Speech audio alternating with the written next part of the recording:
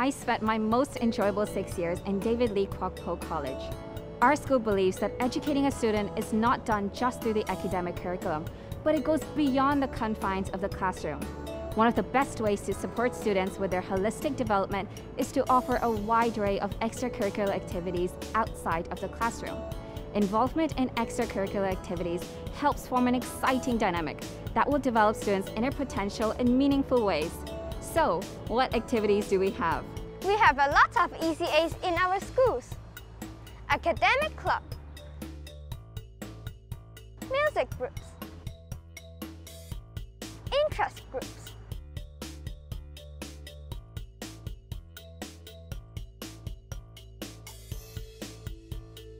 sports groups, uniform groups.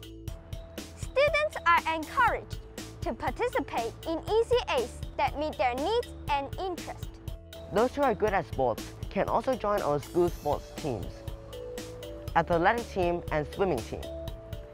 Badminton team and table tennis team. Football team. Volleyball team. Cheerleading team. And basketball team.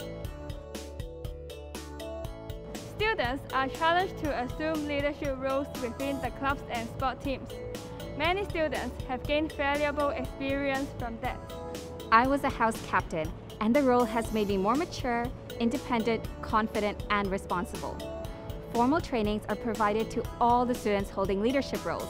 We need to set appropriate goals and priorities for their club or team. Balancing the demands of their extracurricular involvement with the academic coursework will require good organization, problem solving, and decision making skills. We learn to respect others' opinion, acknowledge everyone's contribution, and thus we appreciate the importance of teamwork.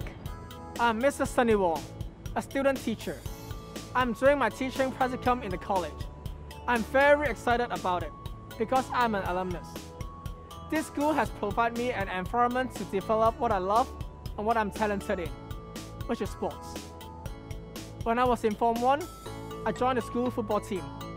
Throughout my entire secondary school life, my PE teacher always encouraged me and advised me on how to balance my life as a student athlete.